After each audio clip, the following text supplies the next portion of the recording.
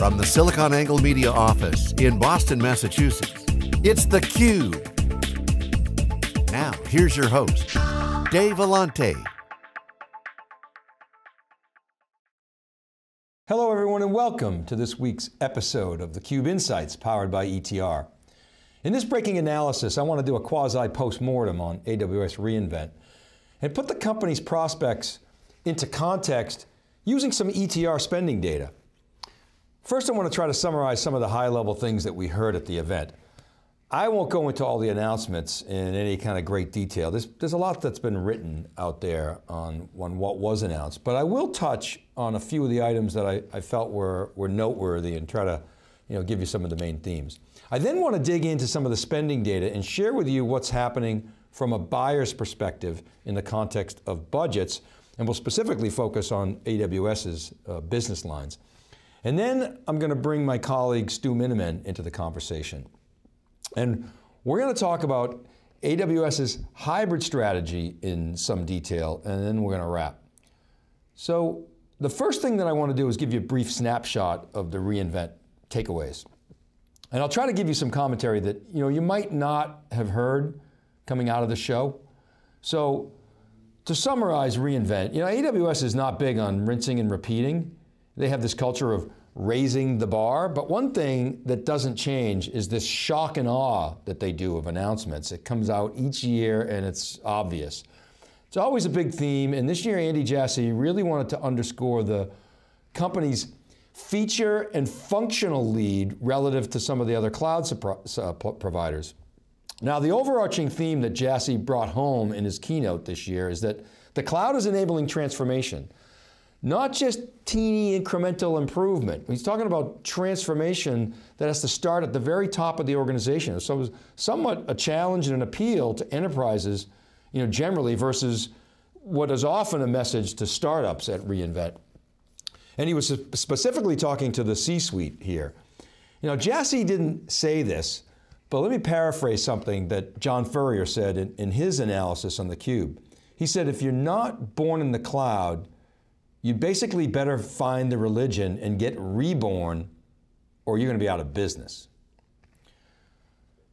Now, one of the other big trends that we saw this year at reInvent, and it's starting to come into focus, is that AWS is increasingly leveraging its acquisition of Annapurna with these new chipsets that give it higher performance and, and better cost structures and utilization than it, than it can with merchant silicon and specifically Intel. And here's what I'll say about that. AWS is one of the largest, if not the largest customer of Intel's in the world. But here's the thing, Intel wants a level playing field. We've seen this over the years where it's in Intel's best interest to have that level playing field as much as possible in its customer base. You saw it in PCs, in servers, and now you're seeing it in cloud. The more balanced the customer base is, the better it is for Intel because no one customer can exert undue influence and control over Intel. It's the Intel is a consummate arms dealer, and so from AWS's perspective, it makes sense to add capabilities and innovate and vertically integrate in a way that can drive proprietary advantage that they can't necessarily get from Intel and drive down costs. So that's kind of what's happening here. The other big thing we saw is a latency, what Pat Gelsinger calls the law of physics. You know, well, a few years ago, AWS, they wouldn't even acknowledge on-prem workloads, and Stu and I are going to talk about that, but you know, clearly sees hybrid as an opportunity now. I'm going to talk more in detail and drill into this with Stu, but a big theme of the event was moving outposts closer to on-prem workloads um, that aren't going to be moving into the cloud anytime soon. And then also the edge, as well as, for instance, Amazon's wavelength announcement that put puts outposts into 5G networks at major carriers. Now, another takeaway is that AWS is unequivocal about the right tool for the right job. And you see this really prominently in database, where I've counted at least 10 purpose-built databases in the portfolio. AWS took some really indirect shots at Oracle, maybe even direct shots at Oracle, which, you know, Oracle treats Oracle database as a hammer and every opportunity as a nail, and antithetical to AWS's philosophy. Now there were a ton of announcements around AI and specifically the SageMaker IDE uh, specifically Studio, uh, SageMaker Studio, which stood out as a way to simplify machine intelligence. Now, this approach addresses the skill set problem. What I mean by that is the lack of data scientists to leverage AI. But one of the things that we're going to watching here is it's going to be interesting to see if it exacerbates the AI black box issue, you know, making the logic behind the machine's outcomes less transparent. Now, all this builds up to what we've been calling next gen cloud. And we're entering a new era that goes well beyond infrastructure as a service and lift and shift workloads. And it really ties back to Jassy's theme of transformation, where analytics approaches new computing models like serverless, which are fundamental now, as is security, um, and a topic that we've addressed in detail uh, in, in prior breaking analysis segments. AWS even made an announcement around quantum computing as a service. They call it Braket. So those are some of the things that, that we were watching. All right, now let's pivot and look at some of the data. Here's a reminder of the macro financials for AWS. You know, we get some decent data around AWS financials. And this chart I've showed before, uh, but it's AWS's absolute revenue and quarterly revenue year on year with the growth rates. It's very large and it's growing. That's the bottom line. Um, but growth is slowing to 35% last quarter, as you can see. But to iterate or reiterate, we're looking at a roughly $36 billion company growing at 35% a year, and you don't see that often. Um, and so this market is still has a lot, long way to go. Now let's look at some of the ETR tactical data on spending. Now remember, spending attentions according to ETR are reverting to pre-2018 levels and are beginning to show signs of moderation. This chart shows spending momentum based on what ETR calls net score, and that represents the net percentage of customers that are spending more on a particular platform. Now, here's what's really interesting about this chart. It shows the net scores for AWS across a number of the company's markets, comparing the gray, which is October 18 survey, with the blue, July 19, and the yellow, October 19. And you can see that workspaces, machine learning and AI, cloud overall, analytic databases, they're all either up or holding the same levels as a year ago. So you see AWS is bucking the trend. And even though spending on containers appear, appears to be a little less than last year, you know, it's holding firm in the July survey. So my point is that AWS is really bucking that trend from the overall market and is continuing to do very, very well. Now, this next slide takes these same segments and looks at what ETR refers to as market share, which is a measure of pervasiveness in the survey. So, as you can see, AWS is gaining in virtually all of its segments. So, even though spending overall is softening, AWS in the marketplace, AWS is doing a much better job than its peers on balance. Now, the other thing I want to address is this notion of repatriation. I get this a lot, as I'm sure do other analysts. People say to me, Dave, you should really look into this. We hear from a lot of customers that they moved to the cloud, now they're moving back workloads back on-prem because the cloud is so expensive. Okay, so they say you should look into this. So this next chart, next chart really does look into this. What the chart shows is across those same offerings from AWS, those same services, the percent of customers that are replacing AWS. So I'm using this as a proxy for repatriation. Look at the numbers. They're low single digits. You see traditional enterprise vendors' overall business growing in the low single digits or shrinking. AWS's defections are in the low single digits. So, okay. Now look at this next chart. What about adoptions? If the cloud is slowing down, you'd expect a slowdown in new adoptions. What this data shows is the percent of customers that are responding that they're adding AWS in these segments. So there's a new platform. So look, across the board, you're seeing increases of most of AWS's market segments. Notably, in respondents citing AWS overall at the very right, rightmost bars, you are admittedly seeing some moderation relative to last year. So that's a bit of a concern and clearly something to watch. But as I showed you earlier, AWS overall, that same category is holding firm because existing customers are spending more. All right, so that's the data portion of the conversation. Hopefully we put that repatriation stuff to bed. And I now want to bring in Stu Miniman to the conversation. And we're going to talk more about multi-cloud, hybrid, on-prem. We'll talk about Outposts uh, specifically. So Stu, welcome. Thank you very much for coming on. Thanks, Dave. Glad to be here with you. All right, so let's talk about let's start with uh, with multi-cloud and and dig into the role of of Kubernetes a little bit. Let me sort of comment on um, how I think uh, AWS looks at multi-cloud. I think they look at multi-cloud as using multiple public clouds, and they look at, at on-prem as, as hybrid. Your thoughts on AWS's perspective on multi-cloud and what's going on in the market. Yeah, and first of all, Dave, uh, I'll step back for a second. You talked about how Amazon has for years had shots against Oracle. The one that Amazon actually was taking some shots at this year was Microsoft. So not only they talk about Oracle, they talked about customers looking to flee their SQL customers. And I lead into that because when you talk about hybrid cloud, Dave, if you talk to any analyst over the last you know three, four years and you say, okay, what vendor is best positioned in hybrid? Which cloud provider has the best solution for hybrid cloud? Microsoft is the one that we'd say because there's strong domain in the enterprise, of course, with Windows, the move to Office 365, the clear number two player in, in, Azure, and they've had Azure Stack for a number of years, and they had Azure Pack. Before that, they'd have a number of offerings. They just announced this year Azure Arc. So three, we've had at least three generations of hybrid multi-cloud solutions from Microsoft.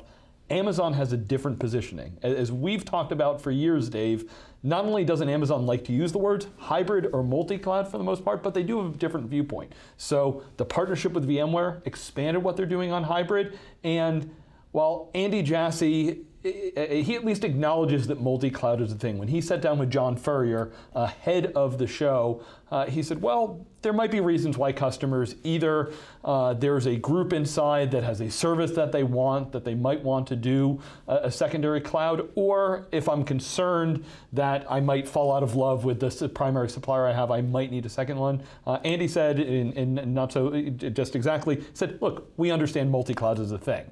Now, architecturally, Amazon's positioning on this is that you should use Amazon and they should be the center of what you're doing. You talked a lot about Outposts. Outposts critical to what Amazon is doing in this environment. And we're going to talk about that. So, but you're, you're right. Uh, uh, Amazon doesn't like to talk about multi-cloud as a term. Uh, however, uh, and, uh, and, by the way, they say that multi-cloud is more expensive, less secure, more complicated, more costly, and you know probably true. But you're right they're acknowledging at least, and I, I, would predict just as hybrid, which we want to talk about right now, um, they'll be talking about, you know, they'll be participating in some way, shape, or form. But before we go to multi-cloud yeah. or, or, hybrid, what about Kubernetes? Yeah. So, right. First of all, you know, we've been at the KubeCon show for years. We've been watching Kubernetes since the early days. Kubernetes, Kubernetes is not a magic layer. It does not automatically say, hey, I've got my application and I can move it willy-nilly. Data gravity is really important. How I architect uh, my, my microservices solution absolutely is hugely uh, important. When I talk to my friends in the app dev world, Dave, uh, hybrid is the way they are building things a lot. If I took, you know, some some big monolithic application and I start pulling it apart, if I have that, you know, data warehouse or data store in my data center, I can't just migrate that to the cloud. David Floyer for years has been talking about the cost of migration. So Microservice architecture is the way most customers are building. A hybrid environment often is there. Multi-cloud, we're not doing cloud bursting. We're not just saying, oh, hey, I woke up today and cloud A is cheaper than cloud B, let me move my, move my workload. Absolutely, uh, I had a great conversation with a good Amazon customer that said two years ago, when they deployed Kubernetes, they did it on Azure. You want to know why? The Azure solution was more mature, and they were doing Azure, they were doing things there. But as Amazon fully embraced Kubernetes, not just sitting on top of their solution, but launched the service, which is EKS, they looked at it and they took an application and they migrated it from Azure to Amazon. Now, migrating it, there's the underlying services, and everybody does things a little bit different. If you look at some of the tooling out there, a great one to look at is Hashiq uh, Corp has um, some great tooling that can span across uh, multiple clouds. But if you look at how they deploy, to Azure, to Google, to AWS, it's different. So mm -hmm. you've got to have different code, there's different skill sets. It's not uh, a utility and just generic compute and storage uh, and, and uh, networking underneath. You need to have specific skills there. So Kubernetes, absolutely, when I've been talking to users for the last few years and saying, why are you using Kubernetes? The answer is, I need that eject lever so that if I want to leave AWS with an application, I can do that.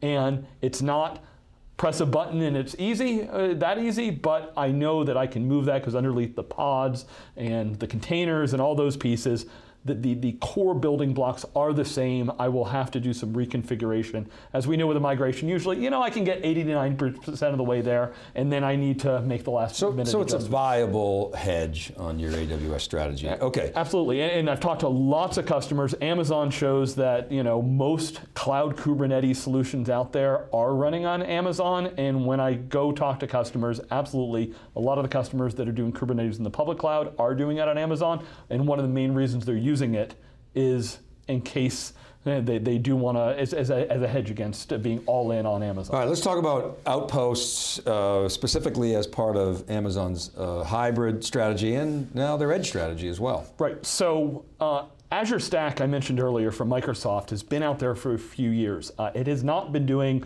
phenomenally well. When I was at Microsoft Ignite this year, I heard basically certain government agencies and service providers are using it and basically acting, delivering Azure as a service. But Azure Stack is basically an availability zone in my data center. And Amazon looked at this and says, that's not how we're going to build this. Outpost is an extension of your local region. So while people look at the box and they say, oh, you know, I, I, took a picture of the box and she was like, hey, you know, whose server and what networking card and the chipset and everything. I said, hold on a second. You might look at that box and you might be able to open the door, but Amazon is going to deploy that, they're going to manage that. Really, you should put a curtain in front of it and say, pay no attention to what's behind here, because this is Amazon Gear. It's an Amazon as a service in your data center. And there are only a few handful of services that are going to be there uh, at first. Uh, you know, if, if, I want to even use S3, day one, uh, the, the Amazon native services, well, you can just use S3 in your local region. Mm -hmm. Well, what if I need special latency? Well, Amazon's going to look at that and see what's available. So it is the Amazon hardware, the Amazon software, the Amazon control plane reaching into that data center uh, and very scalable. It's, you know, uh, Amazon says over time this should be able to go to thousands of racks if you need. Uh, so absolutely that cloud experience closer to my environment, but it's, you know, where I need certain applications, certain latency, uh, certain pieces of data that I need to store there. And we've seen Amazon, you know, dip its toe into the, the hybrid on-prem market with, you know, Snowball and Greengrass and, and stuff like that before, but this is a much bigger commitment, you might, one might even say capitulation to hybrid. Well, Right, and the reason why I even say, you know, this is hybrid, but it's all Amazon. It is not take my private cloud and my public cloud and tie them together. It's not, you know, I've taken, uh, you know, Cloud at Customer or IBM solution where they're saying, I'm going to put a rack here and a rack there and it's all going to work the same. Well, it is the same hardware and software, but it is not well, VMware, all of the pieces. In VMware, VMware and Outposts right. so is hybrid. Really right? interesting, Dave, as the native AWS solution is announced first here in 2019, and the VMware solution on Outposts isn't going to be available until 2020. Uh, you know, draw what you will. It's been a strong partnership. Uh, there are exabytes of data in the VMware cloud on AWS now, uh, but yeah, it, it's a little bit of a uh, Amazon. Quid pro quo, I think is what you call that. Well, I'd say Amazon is definitely, we're going to encroach a little bit on your business and we're going to welcome you into our environment too. Okay, let's uh, talk about the edge and Outpost at the edge. They announced Wavelength, which is essentially taking Outpost and putting it into 5G networks at carriers. Yeah, so, right, Outpost is this building block. And what Amazon did is they said, this is pretty cool. We actually have our environment and we can do other things with it. Uh, so sometimes they're just taking pretty much that same block and using it for another services. So one that you didn't mention was AWS local zones. Mm. So it is not a whole new availability zone, but it is basically extending the cloud, multi-tenant. Uh, the first one is done for the, uh, the TME market in Los Angeles. And you expect, right. how does uh, Amazon get lower latency and get closer and get specialized services? Local zones are how they're going to do this. Uh, the wavelength solution is something that built specifically for the telco environment. Uh, I actually got to sit down with Verizon. This was at least an 18 month integration. Anybody that's worked in the telco space knows that it's usually not standard gear. There's you know NEB certification. There's all these things. It's often even DC power. So it is leveraging Outposts, but it is not them rolling the same thing into Verizon that they did in their environments. Similar how they're going to manage it, but as you said, it's going to push to the telco edge and in a partnership uh, with Verizon, Vodafone, SK Telecom, uh, and some others that will be rolling out across the globe. Uh, they are going to have that, that 5G offering, and it's a little bit, I actually buy it from Amazon, but you still buy the 5G from your local carrier. Uh, it's going to roll out in Chicago first and enabling all of those edge applications. Well, what I like about the Amazon strategy at the edge is, and I've said this before on, on a number of occasions on the Cube breaking analysis, they're, they're taking programmable infrastructure to the edge. The edge will be won by developers, in my view, and, and Amazon obviously has got great developer traction. I don't see that same developer traction at, at uh, uh, HPE, even Dell EMC proper, even within VMware. Now they've got Pivotal, they've got an opportunity there, but they've really got a long way to go in terms of appealing to developers, whereas Amazon, I think, is there, obviously, today. Yeah, uh, absolutely true, Dave. Uh, when we first started going to the show uh, seven years ago, uh, it was very much the hoodie crowd and uh, all of those cloud native. Now, as you said, it's those companies that are trying to become born again in the cloud. Uh, and, and, do these environments. because I had, had a great conversation with Andy Jassy on air, Dave, and I said, do we just shrink wrap solutions and make it easy for the enterprise to deploy, or are we doing the enterprise a disservice? Because if you are truly going to thrive and survive in the cloud native era, you've got to go through a little bit of pain. You need to have more developers. Uh, I've seen lots of stats about how fast people are hiring uh, developers, and I need to, it's really a reversal of that old outsourcing trend. I really need IT and the business working together, being agile, and being to respond well, and leverage data. It's that hyperscaler mentality that Jassy has. We got engineers, we'll spend time on, on creating a better mousetrap, on lowering cost, whereas the enterprise, they don't have necessarily as many resources or as many engineers running around. They'll spend money to save time. So your point about solutions, I think, is right on. We'll see. I mean, look, you never say never with Amazon. We, we've seen it certainly with, with on-prem, hybrid, whatever you want to call it, and, and I think you'll see the same with multi-cloud. And so we watch. Yeah, Dave, uh, the, the, analogy I gave in the final wrap is finding the right cloud is like Goldilocks finding the perfect solution. Uh, there's one solution out there, uh, I think is a little too hot and you're probably not smart enough to use it just yet. Uh, there's one solution that, yeah, absolutely, you can use all of your credits to leverage it um, and will meet you where you are and it's great. And then you've got Amazon trying to fit everything in between and they feel that they are just right no matter where you are on that spectrum. And that's why you get 36 billion growing at 35% uh, not something I've seen uh, in the right. software space. All right, Stu, thank you for your thoughts on uh, reInvent, and thank you for watching this episode of theCUBE Insights powered by ETR. This is Dave Vellante for Stu Miniman. We'll see you next time.